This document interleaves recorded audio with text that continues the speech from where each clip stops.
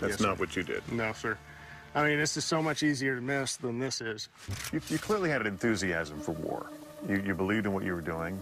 I've brought up extremely patriotic.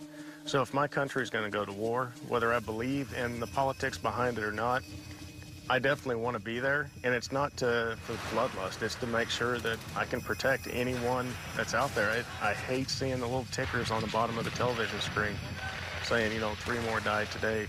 I feel like I should be out there doing my part as long as I'm a willing, able-bodied person. Did you ever have any sense of uh, remorse or any lingering feelings about taking a life? No.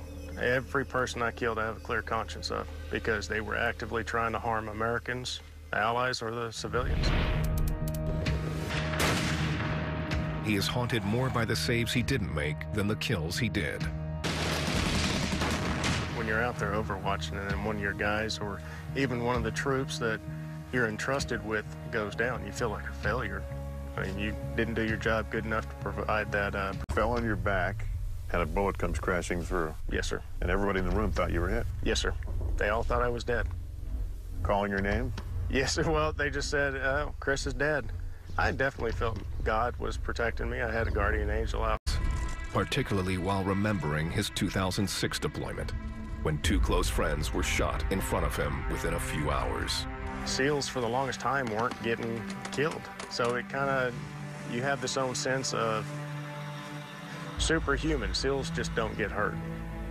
And then when my buddies started dying, then yeah, it takes a big toll on you. Was there, a, was there also a sense of personal invincibility that it can't happen to me? Yes, sir. I definitely felt that way until my last deployment when I, I took two rounds within two minutes and thought, okay, this is where it all ends.